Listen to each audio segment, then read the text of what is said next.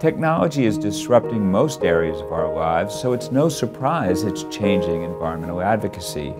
We've seen the emergence of technologies that help people drive change by making problems visible and actionable. The environmental community stands at the cusp of a major transformation. We call it the fourth wave of environmental innovation. The fourth wave levels the playing field. It supercharges partnerships, strong science, and cutting-edge economics. It's innovation that gives people the power to take action. Reducing emissions of methane from the oil and gas sector is one of the most promising climate action strategies that we have. It is technologically feasible, it's incredibly cost effective. What it entails is simply finding and fixing leaks along the natural gas supply chain. There's a huge opportunity for entrepreneurs to create a new generation of lower cost methane detection units. This is a good combination of technology readiness as well as a real world application.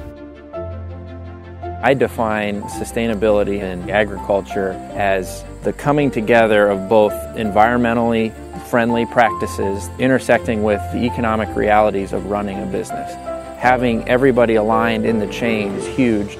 Companies like Smithfield, for example, are now cutting supply chain greenhouse gas emissions. Part of Smithfield's goal is to reduce fertilizer waste on farms and precision agricultural tools provide pinpoint measurement for maximum yields. I am incredibly optimistic about the future of agriculture. Never before has data and technology been so aligned to where we can start capturing information from our farm that we've never been able to.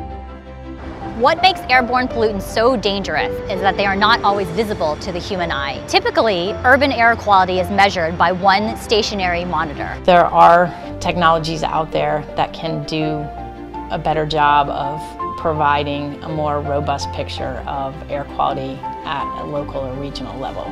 We also see that communities are starting to support monitoring efforts in their own neighborhoods. This air pollution information is new knowledge we've never had before, essentially making the invisible visible. People can become more aware of what's happening on the ground. They're able to take action and implement solutions. The momentum is building. Satellites that can track emissions from space, data analytics that reveal previously hidden patterns, and artificial intelligence that help us combat overfishing.